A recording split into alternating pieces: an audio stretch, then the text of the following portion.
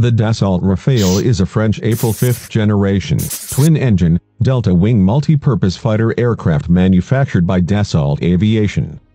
The Rafale is designed as both a land-based aircraft and a carrier. The Rafale aircraft program consists of three versions of the twin-engine multi-role fighter, the one-seat version of the Rafale C, the two-seater version of the Rafale B and the AL, carrier version is the Rafale M. The three versions of this fighter are equipped with engines, combat and navigation systems, aircraft management systems and flight control systems alike.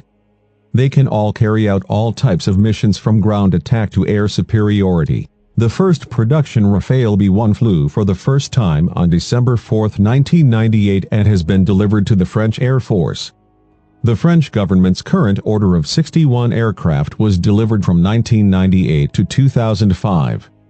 The total order for France, the French Air Force and the French Navy is 294 aircraft. So, in this video we want to provide information about the cockpit of the Dassault Rafale aircraft. The Rafale features a delta wing combined with an integrated active canard to maximize maneuverability, plus 9 grams or minus 3 grams. While maintaining flight stability, a maximum value of 11 grams can be achieved in an emergency.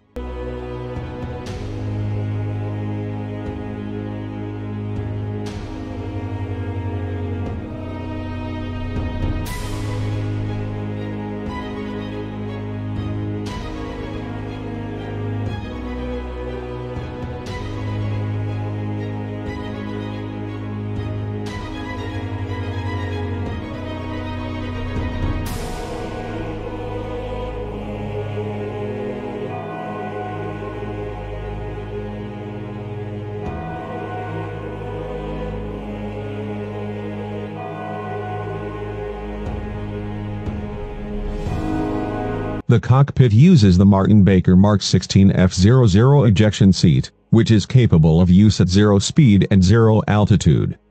The seat tilts back 29 degrees to improve the G-force tolerance.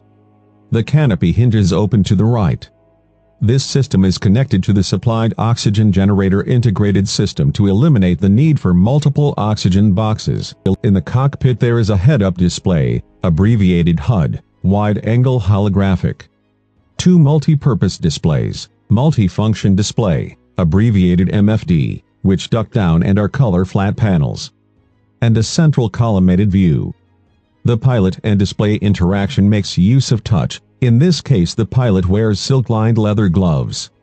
Additionally, in full development, the pilot is equipped with a head-mounted display, HMD for short, two rather unusual small touch screens below the left multi-purpose screen which are used to select various functions such as radio equipment.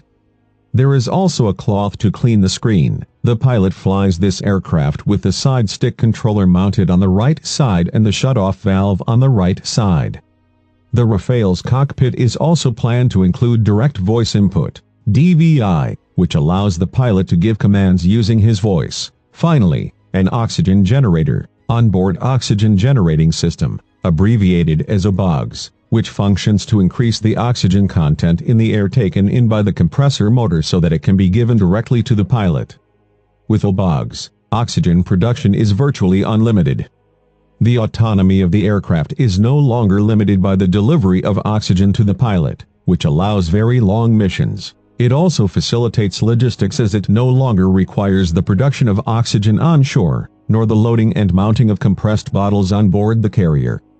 Since the molecular sieve can be regenerated almost multiple times, logistics are simplified compared to the use of conventional oxygen bottles. Although not a true stealth aircraft, according to Dassault, the Rafale is capable of obscuring radar recognition, while most stealth design features are classified. The use of composite materials and the jagged pattern on the wing edges and canard trails serve to reduce radar scannability.